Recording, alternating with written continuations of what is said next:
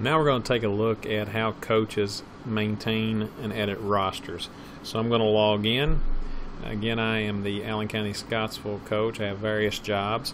Now, when I'm logging in here, since I am the uh, the varsity JV and freshman football head coach, I can pick either three of those roles, but I would just pick varsity if I'm going to work on the rosters because you will have access, as long as all three are listed, you will have access to edit all three of those levels of the rosters. Or if I'm having to be working on baseball, then I would click on baseball. But for this example, I'm going to pick Allen County Scottsville varsity uh, football head coach. I'm going to hit change role. Now we're going to go to, uh, let's look at view team rosters first, just as a reminder. This is just a, a nice clean view. Uh, we'll go ahead and hit Allen County Scottsville's football, since that's the school I'm looking at, but you could look at any school's roster right there.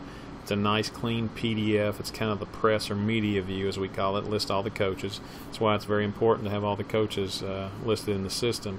So if you see an assistant coach that's not listed, be sure and contact your athletic director.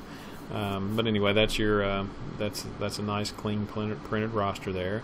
I'm gonna hit the back button. Now, how do I actually? And then you can switch between levels uh, over here: JV, freshman, and postseason. So, how do I actually edit the roster? Let's get into that. That's that is going to be done under maintain specific team rosters. So let's click on that. Now you're going to see a grid of all the all the sports and any sports that you're a coach of that and you have rights and your athletic director allows you to edit rosters. You're going to see it as in green. Uh, if you remember, I logged in as a football coach. So, just a brief uh, explanation here. You see that I have 45 students on the varsity football roster. Right now, only have six JV and two freshmen. So let's go ahead and click on that. Now, you can see if it's red, you're not authorized. And if you click on this and you see this light pink, uh, pinkish color, reddish pink color, that means the AD has not authorized coaches to edit the roster. So you would need to contact your athletic director, and they may not allow you to edit rosters. Sometimes ADs do it all themselves. But that is up to each uh, particular school and the coaches and the athletic directors at those schools. So let's go ahead. We are coaches that can edit rosters. I'm going to look at the football roster. Okay, we're looking at a grid here. Um, the there's basically as of as of the publication of this video, there's five columns. The first, the leftmost, the leftmost uh, table or grid is the students' names, uh, their height, weight, and class. Eventually, we'll have their physical and, and uh, physical date, etc., on there as well. Uh, and then your other columns are varsity, JV, freshman, and postseason rosters, just listed right down the page. Uh, postseason, we've added for 2014-15. We were having this issue where where ADs and coaches were going in at the end of regular season and throwing all their freshmen and JV onto the varsity roster to make them quote unquote eligible. But we've tried to clarify over the last little bit that that as long as a student is on one of those three levels during regular season, when they go into postseason, they are eligible for postseason. And what the postseason roster is going to do, it allows you to go through there and just pick and choose who you want to be your your your final actual postseason team for your tournaments there. So, just a little FYI there. Um, this from this screen here, if you click on any of the students' names that are already on the roster, it allows you to edit some basic information. So Rob Anderson, for instance, is a freshman. Let's click on him. Uh, since he's not on the varsity, I don't see that I can. I'm not able to uh, enter his varsity uh, numbers. Obviously, he's just on the JV and the freshman, but I can go in and I can put his his jersey numbers in. Uh, offensive lineman, perhaps defensive lineman. Uh, his freshman jersey maybe is a little different. I'm just giving you some examples here, but it's very easy to edit. We hit Save Changes, and notice it automatically puts them in the columns there. Nothing in varsity because he doesn't play varsity, but he's on JV and freshman. So let's say he made the varsity team. How would I assign Rob Anderson to be the varsity to be on the varsity team? Well, as you probably figure, there's only two buttons. You got to assign unassigned players, and you got return to team list. So we're going to assign Rob Anderson. So let's click on that. Now this is going to bring up the entire school list. There's a few changes you can save, you can cancel, and you can add a new athlete. Never add a new athlete unless you're 100% certain that the student is not on this list. And again, this is the entire student body that is currently loaded in that plays athletics. And there's a possibility that it's a new student that's not on this list. But we were talking about Rob Anderson and adding him to the varsity level. All we have to do is find Rob Anderson, and this list is sortable. If you want to get all the gender together, you can do so, female and male, because again, it is every student in the school that plays athletics. And we're going to just sort it back by last name because I think last name is pretty easy. We're, all we have to do is put a little checkbox next to varsity. We hit save changes. And we have now assigned Rob Anderson to varsity. Now when we click on that line, I can add my varsity information as well. Hit save changes. We can go ahead and put a weight in there if we want as well.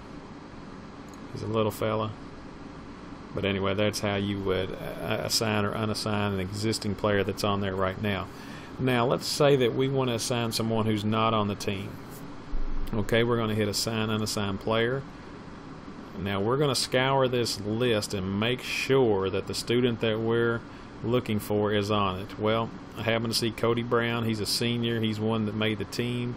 All I got to have to do is put a checkbox next to, to whatever level varsity. Maybe he's on varsity and JV and I hit uh, save changes and now Cody Brown is now assigned to the roster and you can go in and edit his information if you need to. Now, you're never actually deleting a student, you're only assigning and unassigning existing students from your roster. So only the athletic director can delete, and it shouldn't be the coach's interest to delete a, a, play, a student from the school anyway. That would only be done in transfer situations. Or uh, so. So let's go ahead and say we want to remove Cody's. It's just simple. It's a reverse procedure. I'm going to click on Cody's. Uh, actually, uh, I'm going to have to hit assign unassigned players. I'm going to go to Cody Brown, and I'm going to unselect. I'm going to deselect him. I'm going to hit Save Changes and now you notice Cody Brown is gone. Um, now let's say we are looking for a student who is not on the list at all. He's not already on the roster, obviously. We go to assign unassign, and we're looking for a George Catron. And we see a Rob Catron. We don't see any George. You have to again make 100% certain it is that that person is not on there. If if you do not see the athlete on there, then all you have to do is hit Add New Athlete and this is going to add one to the entire school list, so be very careful here. Make sure the name and everything is correct. So we said it was George Catron. All the fields in red are required. Male. He is a freshman, so my first year promotion from 8th grade is 2014. And height is required. He's 5'11 and a half. We'll go ahead and put his weight in. He's a pretty good sized fella at 273. Now, if you know the physical exam date, you go ahead and you set it here. It's just a little date widget. Maybe he had a physical exam this year. Uh, some school districts have a concussion course that they want their students to watch. If you're not one of those school districts, then you just obviously hit none. Again, none of this is required at the publication of this uh, video, but some schools really want all this stuff in one uh, spot so you can always have access to it. Insurance provider and policy number as well if you know that. But let's go ahead and hit add. Now that put George Catron on the list. I'm going to scroll down here and there he is, but he's not been assigned any roster yet. So let's go ahead and put him on the freshman team. We hit save changes. And now we're going to see a George Catron along with Rob Catron there. And he's on the freshman, and we can go ahead and put in his jersey and etc whatever we want to do to operate on him. Um, now, it is very simple.